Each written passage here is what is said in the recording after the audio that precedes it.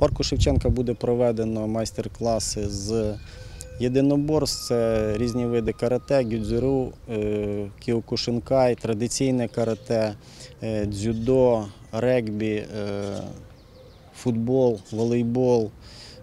Тобто художня гімнастика, спортивна гімнастика. Тобто ми намагатимемося показати ну, більше видів спорту, які сьогодні є у місті Хмельницькому.